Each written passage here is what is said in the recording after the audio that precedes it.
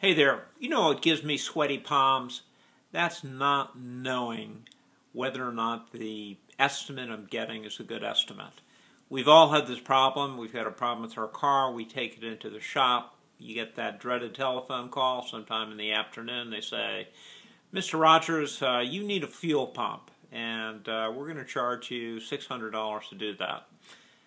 I make a better loan officer than I am, than I do mechanic, and I've got not a clue as to whether or not that's an acceptable price.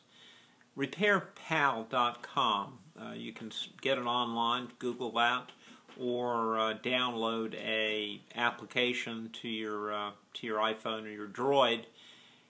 This application allows you to plug in the information about your car. It uh, and will give you an estimate as to how much something will cost to be fixed. In this instance, I it looks like I'm going to need a fuel pump.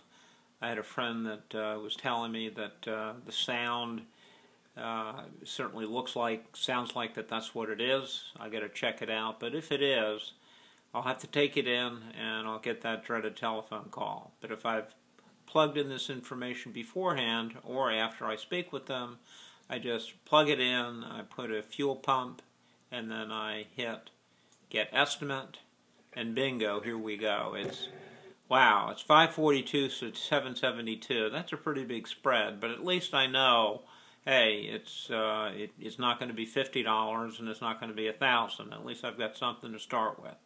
If the mechanic is on the high end at 772 maybe I'll do a little bit more research. This is a great application. Why don't you uh, sign up from the slopes of the shore from Great Falls to Condo Canyon. Get rockin' with Lockin. Take care.